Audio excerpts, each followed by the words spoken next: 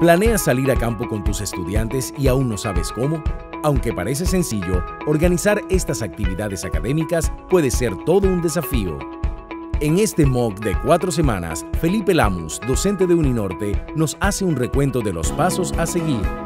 Este curso se centra en el aprendizaje de aspectos teóricos, metodológicos y logísticos que permitan aprovechar al máximo las salidas de campo académicas como herramientas pedagógicas de gran poder es muy importante entonces para comenzar a hacer una salida de campo, planear muy bien toda la logística y todas las cosas que vamos a realizar.